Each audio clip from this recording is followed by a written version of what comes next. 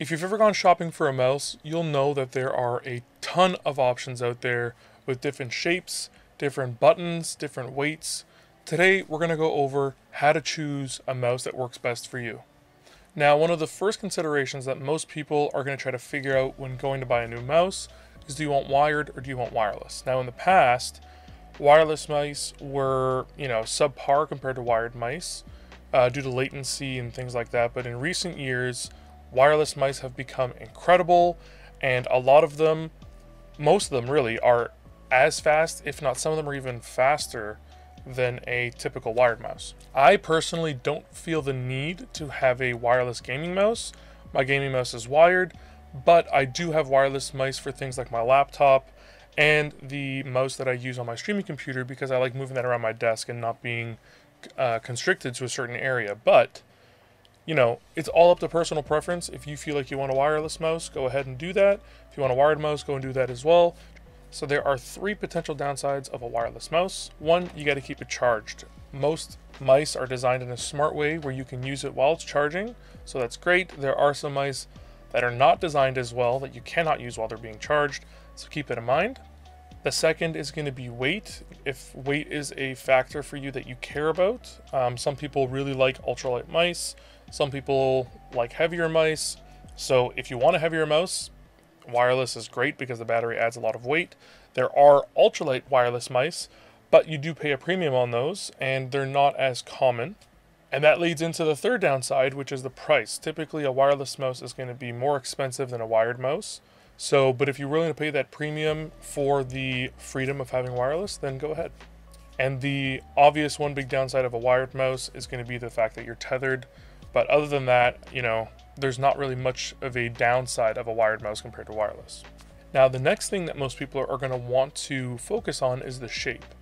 Now, depending on what kind of grip style you use while you're using your mouse, certain mice are going to be better for that than others. Also, depending on the size of your hand, certain mice are going to work better. So I have really large palms and regular sized fingers. So a lot of mice are very uncomfortable for me. They feel very small and my hand will typically drag on the mouse pad and not be fully contacting the mouse. Because of this, I've tried many, many mice over the years. I've used a lot of mice over the years. I've had a lot of experience with different ones. And, you know, certain shapes have worked really well. Like, I really love the Death Adder shape, but unfortunately, Razer's quality assurance over the years has not been great, especially in my situations. And my Death Adder died within two years, which kind of sucked.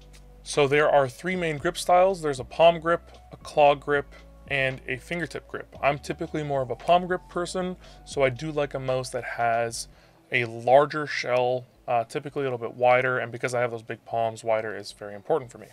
Now, a really great resource for figuring out what kind of size mice is best for your hands, Rocket Jump Ninja actually has a great table on his website that allows you to look at the size uh, of each mouse, and he basically does a measurement system uh, based on the size of your hand. He ranks the mice small, medium, large, extra large, and this is a really, really great tool that you can use. You can measure your own hand, figure out which of those sizes um, match with his table, and you can go out and kind of sort and filter for only the ones that are meant to fit your hand. So, also to tag on to shape is ergonomics. Now, there are certain mice that are designed to be specifically ergonomic, like my Logitech MX Ergo. There's also a lot of vertical mice. There's a lot of ergo focused mice out there. They're not going to be great for gaming, but they're great for productivity. And if you're using your mouse for most of the day, they are something that you might want to look at if you are experiencing wrist pain or fatigue. Now, another thing to consider is button layouts. If you're typically playing FPS games, then having, you know, the regular left, right click, middle mouse, and maybe two thumb buttons is pretty standard and a pretty good amount of buttons for you. You're not really going to need much more than that. Some people who play MMOs or MOBAs really like having a mouse that has a ton of buttons on there because then they get a lot more options. They don't have to take their hand off the mouse at all. They don't have to move their hand too far around the keyboard. They can have everything very simple, very easy to get to. Uh, there aren't too many mice that are like super loaded with buttons, but there are a good, you know, focused set of a few that work really well for that. So if that's something you want, then take a look at those.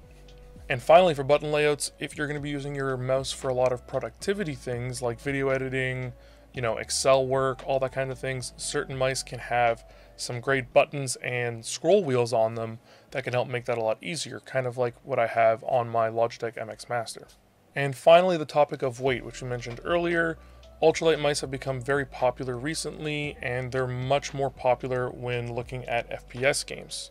Now, I've been using an ultralight mouse while I play FPS games, and I really enjoy it. I have the Glorious Model D. It's a great mouse, and it's what I've really been enjoying. The shape is great, um, the weight is nice, and I really enjoy how it feels in my hand. However, when I'm not playing FPS games, I prefer using my Logitech MX Master. So it is quite a bit heavier than my uh, Glorious Model D. It's actually more than double the weight, but I really enjoy the way that feels in my hand while I'm doing more productive workloads. And because I'm not whipping my mouse around as quickly, that weight doesn't really bother me, and it actually feels a lot more comfortable. Now to finish things off, some good recommendations for mice to look at. First things first, one of the most popular wireless mouse right now is the Logitech G Pro X Superlight. It has the benefit of being wireless and having the ultralight uh, feature set. It's only 60 grams, which is pretty nice, but it is a you know medium-sized mouse. So if you have larger hands, this one's not going to work as well for you. The Death Adder, as much as I don't enjoy Razer's quality assurance over the years, has probably one of the best shapes out of any mouse that I've ever personally used. And there's also a mini version for people with smaller hands. Now, a mouse that I used for a very long time that is a great mouse and has lasted, you know, the test of time and it has adjustable weights and a good feature set of buttons is the Logitech G502.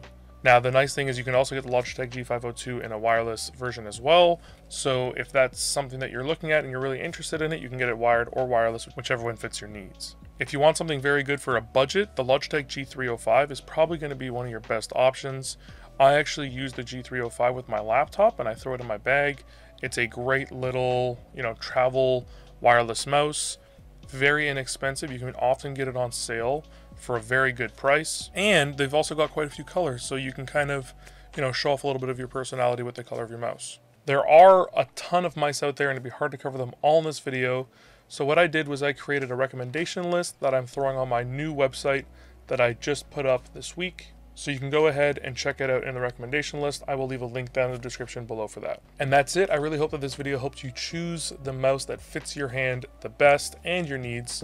If it did, I'd really appreciate it if you hit that like and subscribe buttons. If you want to be notified of the future videos, I'm going to be doing keyboards, headphones, and microphones going forward. So hit that bell icon so you can be notified of when those go live. If you have any questions, comments, or feedback, feel free to leave those down in the comment section below and I will try to get to them all as quickly as possible. Big thanks to my Patreon sponsors Step Back, Thought Slime, and Rojo Son of Dojo, and thank you for watching the end of the video. As always, stay safe out there. I'll see you next Friday.